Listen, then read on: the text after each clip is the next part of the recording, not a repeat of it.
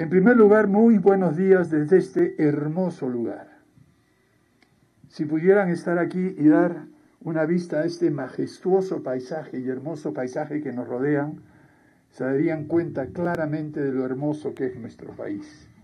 Estamos en la zona arqueológica monumental de Cuelap, en la región Amazonas, cuna de una de las culturas más importantes de nuestro país, los chachapoyas, los hombres de las nubes como las que tenemos ahora alrededor y delante nuestros. Esta es una espectacular fortaleza con una imponente muralla que pueden ver de más de 19 metros de altura, que se encuentra enclavada en la, la cima de esta montaña, que sin duda es el reflejo de la técnica avanzada que tenían las antiguas culturas de nuestro país específicamente los chachapoyas.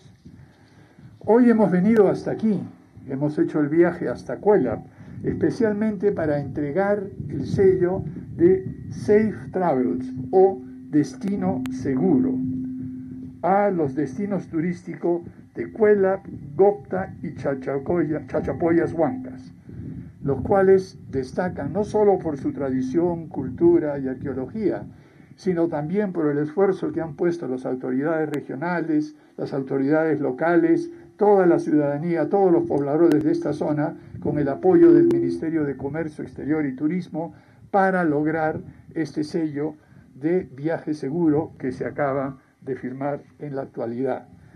Este viaje seguro significa que están protegidos con todos los protocolos que se siguen para evitar el contagio de la pandemia del COVID-19.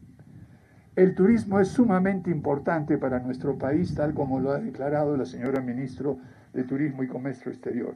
Es una importante fuente de trabajo, fuentes de, ingresa, de ingresos y poco a poco el Perú a lo largo de los años se ha ganado merecidamente la calificación de destino turístico preferencial en todo el mundo, con facilidades, con servicio, el típico servicio característico de los peruanos que le dan la bienvenida a todo turista, a todo turista, sea de una región del país a otra región o del extranjero. En nuestro país a la fecha ya tenemos 22 destinos turísticos con el sello internacional que acabamos de ver firmar aquí. Esto significa que teniendo este sello, a medida que vaya recuperándose el viaje internacional, recuperándose la actividad turística internacional, estos lugares, estos 22 lugares, darán toda la seguridad a los turistas y atraerán muchísimos más. Como dije anteriormente, esto es producto de un trabajo concertado entre los diferentes niveles de gobierno, pero también de las comunidades y del sector privado. Esta es la forma, como dijo el señor gobernador, en que podremos todos trabajar juntos para labrarnos y para tener un futuro mejor para todos los peruanos. Y en eso el turismo como fuente de empleo y además fuente de orgullo para los peruanos sobre todo lo que tenemos que mostrar al mundo como en nuestras antiguas civilizaciones, como digo, el turismo tiene un lugar privilegiado. El gobierno de transición y emergencia también quiere ser un gobierno de confianza y esperanza. Desde el primer momento hemos dicho que queremos devolverle a la ciudadanía la confianza de que nuestro país se puede gobernar bien, se puede gobernar honestamente, se puede gobernar diciendo las cosas como son, se puede gobernar haciendo obra en silencio, se puede gobernar motivando y movilizando las energías de todos los peruanos y peruanas para lograr un objetivo común. Eso es lo que hemos venido haciendo. Y en el caso del turismo, esto tiene una concreción, algo específico y concreto en que viene ya trabajando el Ministerio de Turismo y Comercio Exterior, que es la Estrategia Nacional de Reactivación del Sector Turismo y el Desarrollo Sostenible de este sector en el marco de la emergencia nacional. La emergencia estará con nosotros por algún tiempo, tendremos que acostumbrarnos a convivir por un tiempo más con el virus, pero esto terminará como terminan todas las cosas. Y en este sentido, el proceso de recuperación que tendrá el turismo será muy rápido, efectivo y tendrá un impacto a nivel nacional gracias a este plan gracias a esta, estrategia nacional de reactivación del señor turismo. A través de las conversaciones con el señor congresista don Absalón Montoya, le hemos contado muchas veces la admiración que tenemos. Yo ya he venido antes a Cuelap, he venido con mi familia, he disfrutado durante varios días de la hospitalidad de la región Amazonas y la hospitalidad de Chachapoyas. Y por eso invito a todos los peruanos y peruanas, cuando empecemos a viajar de una manera más continua, que vengan a Chachapoyas, que vengan a Cuela, que vengan a, a Gocta, a esas hermosas cataratas, y también viajen a los múltiples destinos turísticos que tenemos en nuestro país. Hemos hablado ahora hasta, hasta este momento del tema turístico, pero mi visita también tiene, aquí a esta región, tiene otros dos objetivos. Hemos venido con el ministro de Trabajo y Promoción del Empleo para iniciar y dar inicio a las actividades del programa Trabaja Perú, el cual empleará a muchísimas personas en esta región para mantener, acondicionar, limpiar y restaurar en parte el monumento histórico Pozo de Yanayacu, que está en la ciudad, cercana a la ciudad de Chachapoyas. El programa Trabaja Perú tiene como objetivo, tiene como finalidad generar empleo social inclusivo. Una de las cosas más graves que nos ha pasado en esta pandemia ha sido la pérdida de muchísimos empleos, sobre todo en el sector servicios, específicamente en el sector turismo y todo lo que se relaciona a él. Por esa razón, aquí en Chachapoyas, Trabaja Perú, empieza a trabajar con este grupo y muy pronto iremos a mostrar cómo se están realizando estas actividades. Pero también hemos venido con el ministro de Salud, que se encuentra ahora en la ciudad de Chachapoyas visitando establecimientos de salud para supervisar el proceso de vacunación, es decir, el gobierno de transición y emergencia. El gobierno de confianza y esperanza no deja de trabajar. Empezamos a trabajar el mismo día que entramos a Palacio, el 17 de noviembre de 2020 a las 6 de la tarde y seguiremos trabajando hasta el 27 de julio a medianoche. Agradezco nuevamente a las autoridades de Chachapoyas, Agradezco a todos ustedes que han participado en este esfuerzo de obtener el sello de viaje seguro y estoy absolutamente convencido que en muy poco tiempo Chachapoyas, el puerto de Cuelap y todos los destinos en esta zona estarán rebosando de turistas y gozando de la prosperidad que tanto se merecen por el esfuerzo que han hecho. Muchísimas gracias.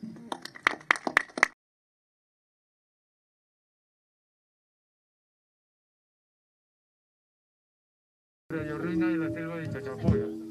Eh, señor presidente y señora ministra, mi pregunta es qué se va a hacer con la entrada principal de la fortaleza escuela que lamentablemente está en muy malas condiciones. Se invita a nivel nacional para que la población o los turistas vengan a la ciudad de Chachapoyas y luego trasladarse a escuela. Pero ¿cuál va a ser el trabajo específico por parte de ustedes para que la fortaleza escuela su entrada principal esté en mejores condiciones. Muchas gracias. Antes de pedirle a la señora ministra, debo decir que la vez anterior que he estado he visto que estaba ya un proceso de habilitación de la entrada a Cuela y me imagino que la pandemia ha demorado algo las cosas, pero estoy seguro que se continuará con ello. Pero yo le pediría a la ministra de Comercio Exterior y Turismo. Adelante. Gracias, presidente. Efectivamente, como ustedes comprenderán, el año pasado varias de las actividades que veníamos realizando con el Ministerio de Cultura para la mejora continua de los centros arqueológicos dentro de los cuales está CUELAP tuvo que parar. Sin embargo, tengan la seguridad de que nosotros tenemos ya un plan con el Ministerio de Cultura para no solamente en el caso de Cuelap, sino todos los monumentos arqueológicos importantes a nivel nacional, poder continuar con los trabajos que son eh, fundamentales, no solamente para que las visitas se realicen con normalidad, sino también para que los propios monumentos tengan sostenibilidad en el tiempo.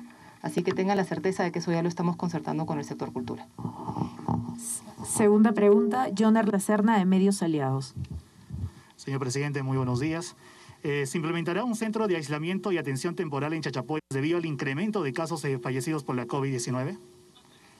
El señor ministro de Salud está en este momento en Chachapoyas, está explorando esa posibilidad, tenía entendido que había la posibilidad de un centro temporal de atención, eh, me imagino que eso ya está en marcha, hemos visto un cierto aumento, no solamente en esas regiones, sino en algunas otras, pero a nivel nacional lo que observamos es una ligera tendencia de descenso, tanto el número de contagiados como el número de fallecidos. Pero el señor ministro de Salud que se encuentra ahora en Chachapoyas es precisamente quien va en Chachapoyas poder contestar esa pregunta de una manera más precisa. Tercera pregunta y última pregunta de Brian Garro de Escala TV. Buenos días, señor presidente. Mi pregunta es, ¿qué estrategias está tomando el Estado con el proceso de vacunación para la región Amazonas? La estrategia que está siguiendo el Estado con respecto al proceso de vacunación es para todo el país y a todas las regiones eh, de una manera equitativa. Como todos ustedes saben, ya contamos con 60 millones de dosis de vacunas contratadas, que son más que suficientes para vacunar a todos los adultos mayores en nuestro país antes de fin de año. Dejaremos al gobierno entrante el 28 de julio alrededor de más de 50, alrededor de unas 45, 50 millones de dosis y posiblemente un poco más si las negociaciones que estamos teniendo con otros laboratorios proceden bien como esperamos que sea el caso. Para la estrategia de vacunación lo que se ha hecho es programar la vacunación de acuerdo a la llegada de los distintos tipos de vacunas. En el caso de una de ellas, específicamente Pfizer, requiere condiciones de frío extremo para ser almacenada y transportada de tal manera que no pierda su efectividad, que no pierda su potencia, digamos así. Por lo tanto, estas dosis que vienen llegando cada semana se van programando para ser aplicadas en aquellas regiones que cuentan con esa cadena de frío Dicho sea de paso, estamos haciendo también inversiones para que más regiones cuenten con esta cadena de frío. Sin embargo, también tenemos otras vacunas que están llegando al país que no requieren frío extremo. Ahí tenemos Sinopharm, también tenemos AstraZeneca y posiblemente llegarán pronto otras vacunas de acuerdo a las negociaciones. Estas vacunas se están destinando a las regiones que no tienen por ahora esa capacidad de almacenar con un frío extremo de menos 60 grados centígrados. Empezamos también con la estrategia de vacunación en todo el país a vacunar a la primera línea de defensa contra la vacuna, a vacunar a aquellos que nos cuidan, cuidando a quienes nos cuidan. Ese proceso ya prácticamente está terminado, nos queda muy poco por vacunar al personal de salud, a los bomberos, a la policía, a la Fuerza Armada, y ya empezamos un proceso de vacunar a los más vulnerables.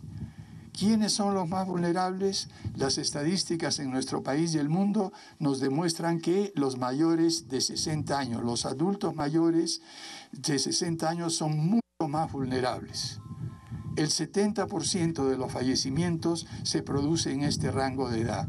Por lo tanto, la estrategia ha sido en todo el territorio nacional distribuir a todas las regiones la vacuna a medida que va llegando para vacunar primero a los adultos mayores por encima de 80, luego por encima de 70 y luego por encima de 70.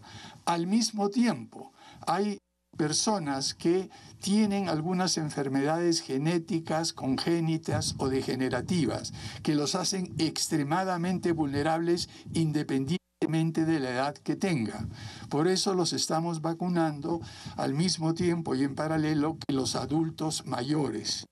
De esta forma esperamos con la disponibilidad de vacunas que tendremos antes de que termine el gobierno de transición y emergencia haber vacunado a todos los adultos mayores que deseen vacunarse, a todas las personas vulnerables que tengan una condición especial y dejar para el próximo gobierno continuar con el resto de ciudadanos y ciudadanas mayores de 80 años perdón, de mayores de 18 años, disculpen, los mayores de 18 años de tal manera que tendremos a toda la población adulta mayor de 18 años vacunada hasta antes de fin de año. Por último, Quisiera decirles que en esta estrategia de vacunación hemos tomado en cuenta el número de personas por vacunar en cada región y de acuerdo a eso es que se han distribuido y se vienen distribuyendo las vacunas. Amazonas, como otras regiones, tiene un número de dosis asignada de acuerdo a su población y sobre todo a su población vulnerable y eso es lo que hemos venido entregando regularmente. Muchas gracias por su pregunta.